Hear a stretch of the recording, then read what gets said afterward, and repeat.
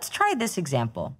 Using our prompt framework, we'll add the task, provide context, then evaluate and iterate. This is a useful exercise whether you're a copywriter working on an ad campaign, a speechwriter drafting talking points for an executive, or gym manager communicating a schedule change. Let's start with the persona. I'm a gym manager. Next, we'll add in the context. And we have a new gym schedule. And specify the task. Write an email informing our staff of the new schedule. Highlight the fact that the Monday, Wednesday, Friday cardio blast class changed from 7 a.m. to 6 a.m. And let's add even more specificity, especially about the content and format of the email, which could include language or tone.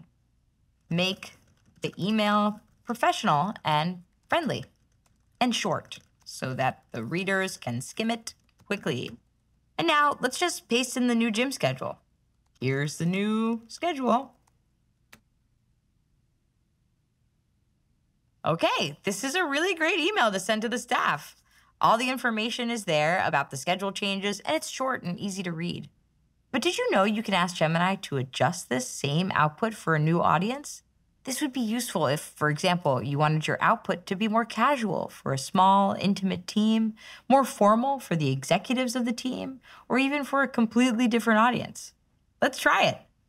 We're going to iterate on our prompt, asking Gemini to write an email to the gym members in a more casual tone.